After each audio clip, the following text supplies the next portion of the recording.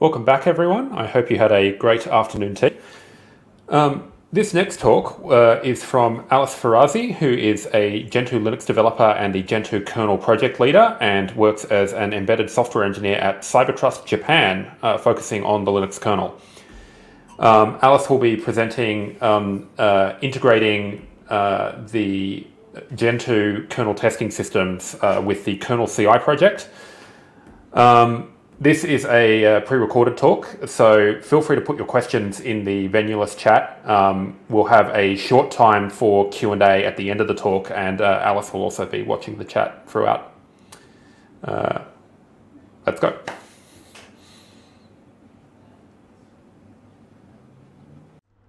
Hello everyone. In this presentation I will talk about merging an existing framework into kernel CI or how to test your own kernel project with kernel CI. My name is Alice Ferrazzi. I am a Gentoo developer. I am the Gentoo kernel project leader and I am the Gentoo kernel CI creator. I am part of kernel CI as the technical steering committee member. I'm also part of the civil infrastructure platform as a testing working group member. I'm working for Miracle Linux Uh, powered by Cybertrust Japan as a software engineer and I am the lead SAI system development for EM Linux that is an embedded Linux distribution developed by Cybertrust Japan. So in this presentation I will at first talk about kernel what is kernel who is doing kernel and why kernel is needed. I will uh, talk about the uh, composition. I will uh, talk about the big picture of CI and uh, current uh, available uh, testing laboratory.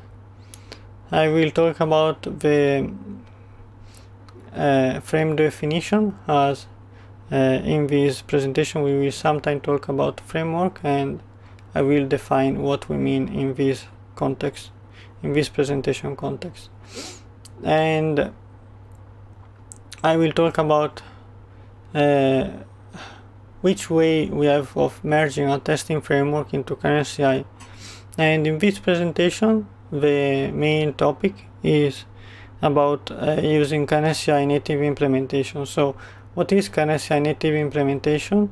And uh, I will talk about the the work that I'm doing for the civil, civil infrastructure platform project for uh, integrating uh, the civil infrastructure plat platform uh, testing framework into CI native. and I will uh, also talk about uh, currently supported test and in the end I will show an example of uh, one of the mail that uh, CIP KernelCI uh, uh, is getting from uh, about the CIP kernel and in the end I will talk about the CIP web dashboard and give you a conclusion of this presentation. So what is KernelCI? KernelCI is a community-based open source distributed uh, test automation system that is focused on upstream kernel development. It is currently testing upstream on 155 of physical board and virtual board. kernel CI uh, is organized by the Technical Steering Committee and the advisory board. I'm part of the technical steering committee. The technical steering committee is formed by the KernelCI core developer and maintainer. And the KernelCI core developer and maintainer are um, are maintaining a good uh, quality of the KernelCI code and also uh, helping with the maintenance and adding new feature to uh, to KernelCI and we also have an advisory board that is um, made by the primary organization representatives that are involved in CI. These uh, representatives are managing the budget and help coordinating uh, kernel CI tasks.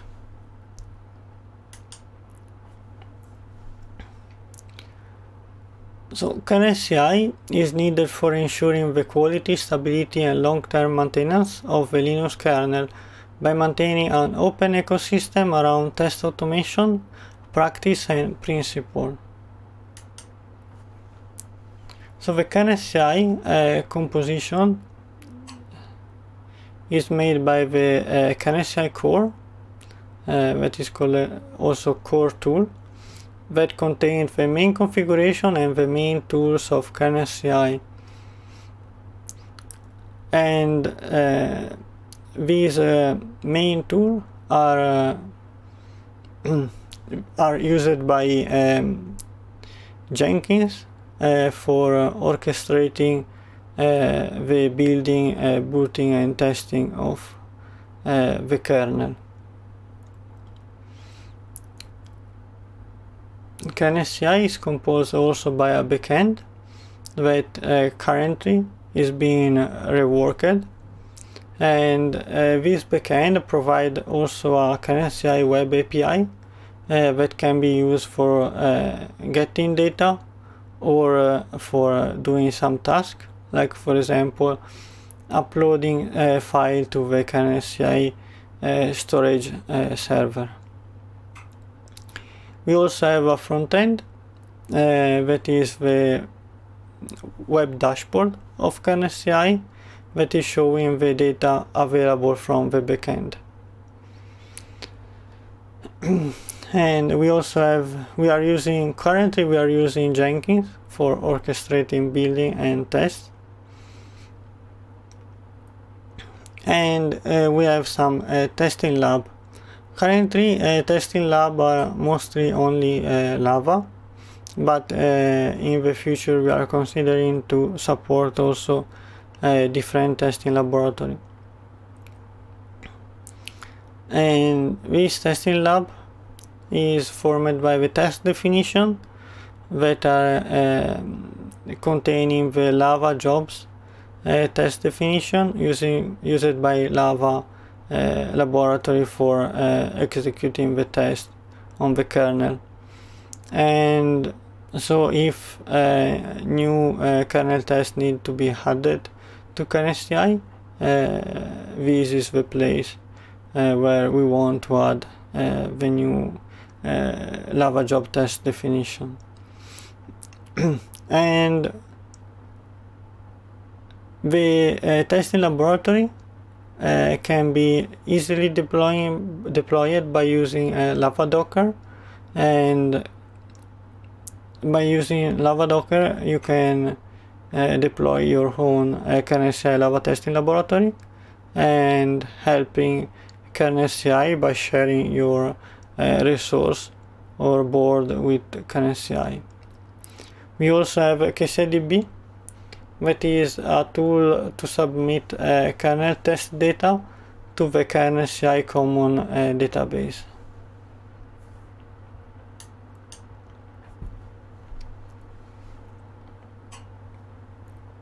So here we can see the big picture of kernel CI and kernel is made by kernel native and but also KCIDB uh, that is getting data from independent testing framework. So uh, native is the main uh, CI of kernel uh, that is uh, booting and testing and building the kernel for kernel CI and sending the main result of each test uh, to kernel CI. and in the bottom part we can see all independent testing framework that are not part of uh, kernel CI but we want to uh, share their own data with kernel CI and these independent testing framework can use uh, KCIDB, uh, that is a tool for sending uh, their own uh, testing result to the KernelCI common database.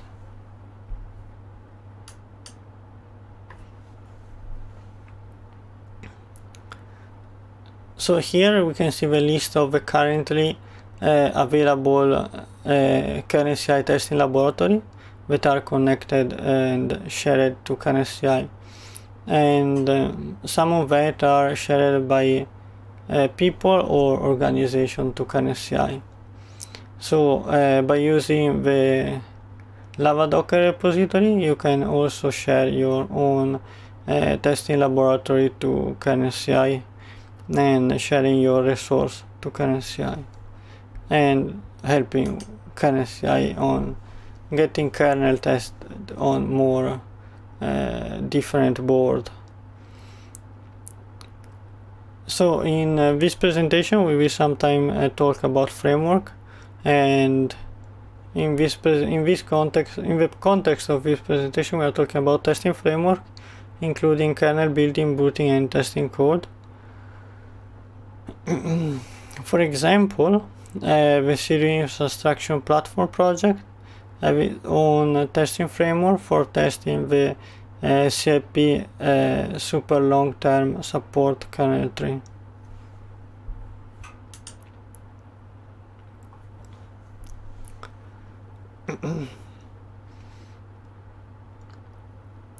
so there are mainly uh, two ways uh, of um, contributing uh, to KernelCI.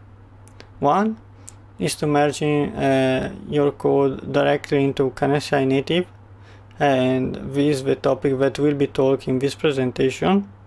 And as an example I will show uh, bit a part of the work that I uh, did in this month uh, as a member of the civil infrastructure platform and for porting the civil infrastructure platform testing framework to the KernelCI native.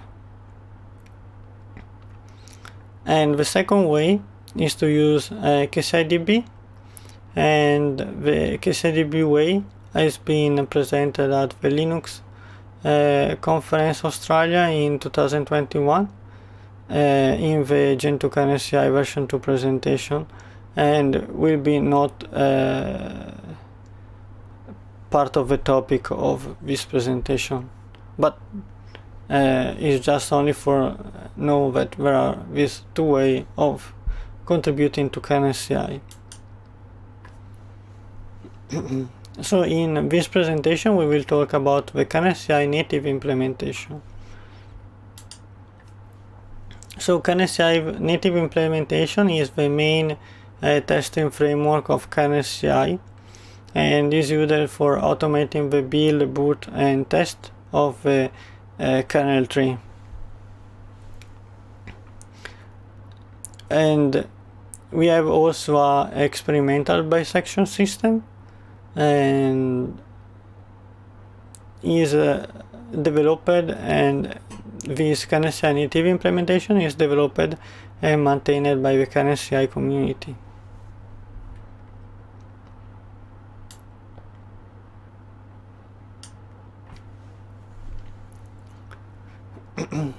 so um, from working with uh, native implementation I could see uh, that uh, some good point is that I have already integrated some uh, kernel boot and testing framework for working with uh, the kernel. And KernelCI there is uh, support there is offered a KernelCI API so we can work with the KernelCI native data or doing some task by using the KernelCI native API. And the code is maintained by the KernelCI community and is a Linux Foundation project and um, also by using KernelCI native implementation uh, we can use uh, the resource shared with the KernelCI and so all the testing laboratory resources that are shared with uh, uh, one of the problem that I could see is that uh, is of course made only for uh, kernel testing. So the tasks that are out of the scope of KernelCI native are not integrated into the KernelCI native upstream code uh, for example uh, distribution packaging and that's why uh, Gentoo have its own uh, kernel booting and testing uh, framework.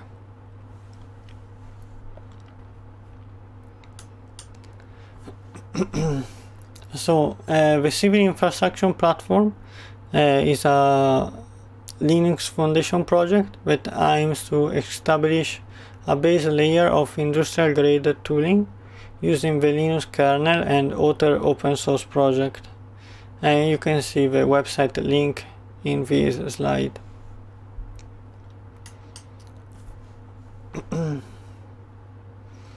so uh, the CIP uh, team decided because of a, a good point of KernelCI Native Pro, uh, KernelCI Native, to integrate, uh, to start to merge their own uh, testing framework into uh, Native. So in the next stage, in the next slide, I will explain uh, what KernelCI is doing for integrating this to a KernelCI native framework. so uh, the CIP testing framework uh, is uh, the code is only maintained by the CIP community uh, is on GitLab pipeline. So is using GitLab pipeline and the code uh, that is using GitLab pipeline are mostly used only by the CIP community and so is uh, there is uh, no, no cycling of such code because uh, it is not reusing some some code and so all uh, such code have to be maintained by the CIP community. So also future change and new feature uh, that are done uh, need to be maintained by the CIP community. And result are mostly only shared with CIP team uh, by uh, getting result from the GitLab pipeline. And also uh, the test is using uh, the CIP Lava laboratory that have uh, 21 physical and virtual active board under test. By merging uh, the CIP testing framework into KernelCI, uh, we have a code that is maintained by both the CIP community and KernelCI so is allowing for coding reuse as most of the code is maintained by both community. And all change that we add to the code are and future change will be added from uh, CIP community and KernelCI community and results are also integrated on the KernelCI and a summary is shared to the CIP mailing list. and also by integrating into KernelCI native, we can also use all the resource that is uh, using KernelCI. Uh, so we have 155 uh, physical and virtual board. And we do almost for each um, release uh, 190 build. And also we can get some feature that we didn't have on uh, on the civil infrastructure testing framework like for example the experimental bisection that uh, is helping with regression by doing automatic bisection also uh, KernelCI native is currently supporting um, with test and we have some uh, subset of kselftest and LTP mostly because uh, each test that is added to KernelCI uh, need to be uh, particularly KernelCI is working by regression. So need that each test that is uh, added to KernelCI native have to pass from for most uh, tests and after uh, most tests are passing it will be implemented into KernelCI so if there is like some kselftest that is currently broke broken is not uh, currently added to the KernelCI but it can be added in the future when uh, such problem gets solved. So anyone anyone can add uh, their own test. And civil infrastructure platform added uh, the spectre meltdown checker as we was using such test uh, for the civil infrastructure platform uh, testing framework. And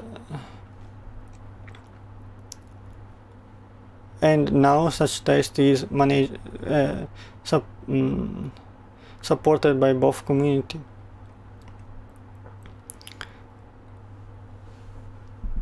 So a good way of contributing to KernelCI is adding new tests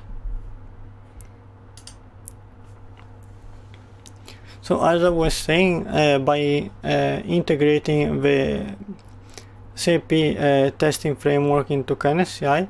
We also get a mail from uh, with a summary of the KernelCI um, testing result. And um,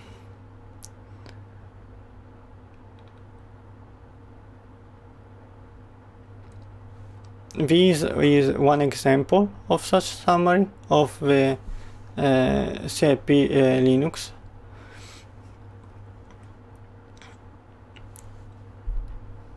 And is uh, sent to the CIP uh, dev uh, mailing list. And we can see uh, if some kernel failed to build or in other case if some uh, kernel failed to pass some test. And in case that something broke uh, we will have a regression email that uh, will show on which board uh, the test failed. And still on the same regression email we will get um,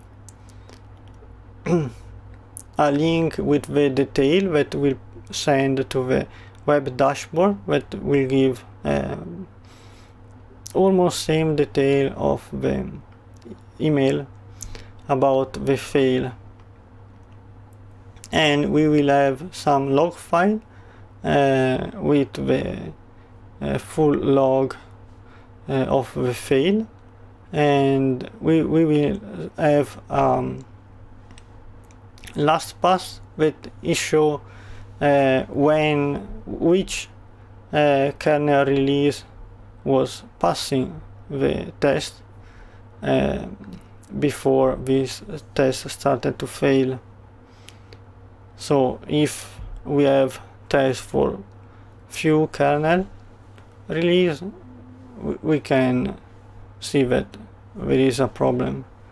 And it will add some relevant error message of uh, uh, from the log of the error that we got. And this can in some case can help to understand the problem. And also um, is it can also start the uh, automatic bisection but currently is experimental so we still have to see result from uh, such system.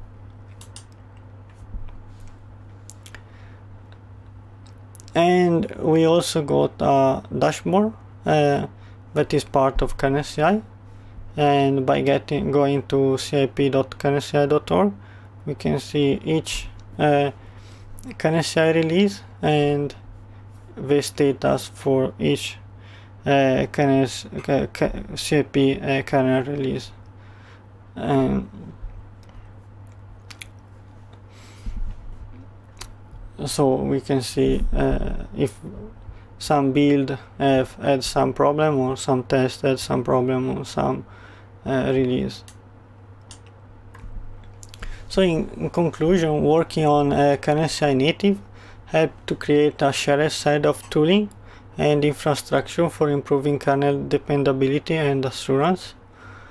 So like uh, CIP, the civil infrastructure platform, uh, by working uh, adding their own uh, tool to kernel CI helped not only by to test CIP kernel but also to test upstream. Are such tests are in many cases are shared to also uh, with the upstream uh, kernel code.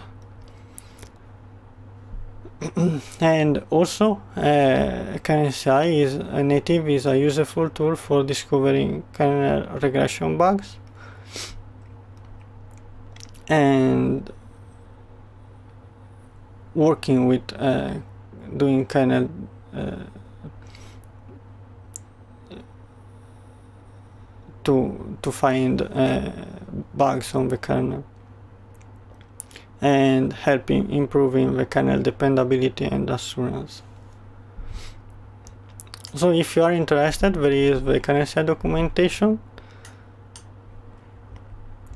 There is also a link about the work that the civil infrastructure testing project, uh, civil infrastructure platform, uh, test framework, uh, testing work group uh, is doing for uh, uh, integrating uh, for doing for testing CIP with CI native. And if you are interested by going to such a dashboard you can see uh, which uh, feature we are working on currently and what we are doing or what we did in more detail. And uh, there is the CI maintainer channel. So of course uh, you can ask a question on uh, this presentation but also after this presentation you can uh, ask a question to the uh, CI maintainer channel that are shown on this slide so that's everything for my presentation and thank you for listening All right. Um, we've had a few questions come in. Uh, we've only got a very short time for questions, so I'll um, hand over to Alice and let her pick which uh, ones that um, she thinks we, we can okay. uh, talk about in the limited time we've got left. Hi again uh, from Japan and live currently. So Um, we had uh, one question that is about uh, what is the recommended workflow for uh, adding support uh, for a new driver device. If the question is about testing on the KernelCI documentation, there is a, uh, article about uh, adding testing to KernelCI. And I think that is the, the best way would be to check the KernelCI documentation about how to add a new driver or device to KernelCI for testing. and how to add, uh, another question is how to add or create a new test lab on the KernelCI GitLab, uh, GitHub. Uh, there is a repository that is uh, Lava Docker that probably is the fastest way for adding uh, a new test lab to KernelCI is to go into a KernelCI uh, GitHub um, repository and there is the Lava Docker repository that is uh, simple to deploy because it's using Docker and by just starting that uh, Lava Docker mm, system, it will give you uh, a Lava Docker testing uh, system for uh, connecting to KernelCI. And for getting the key for connecting such system to KernelCI, uh, you have to open an issue to KernelCI core, uh, that is one of the repository into the KernelCI organization on GitHub. and you open an issue requesting to get in such a key for connecting your laboratory to KernelCI. And uh, you will after get contacted by KernelCI team for adding such a Lava Docker system to the KernelCI. There is also some uh, work to add uh, also different uh, system other than Lava Docker, that is the one we are using now, but uh, is currently a work in progress. And these uh, testing laboratory that uh, are uh, made by uh, user are there is some case that are made by some company that are interested on test on their own hardware, but not only. Uh, also, uh, there is some personal case that uh, we wanted to connect their own hardware to uh, but we, that is for uh, some kind of personal usage, but not uh, related to company or such things. So uh, who want to help on KernelCI can uh, connect their own test lab. Doesn't have to be a company for doing such things. Uh,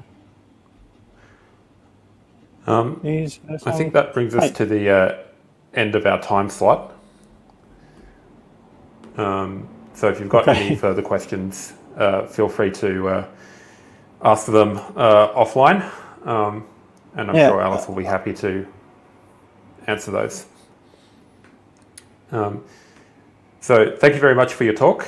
Uh, we'll be coming back in uh, a bit under 10 minutes uh, at 4.20 p.m. Um, for David Gow uh, speaking on kernel testing with KUnit. See you all then. Thank you.